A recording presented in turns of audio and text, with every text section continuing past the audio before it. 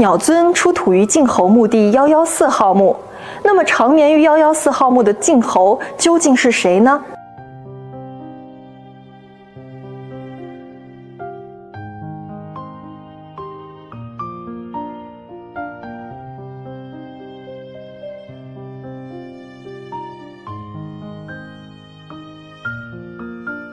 已经发掘的八代晋侯分别为武、成、厉、晋、西、献、穆及晋文侯，并且只有把最后发掘的幺幺四号墓组排在先前最早的九号墓组之前，才符合晋侯墓地埋葬特征的演变趋势。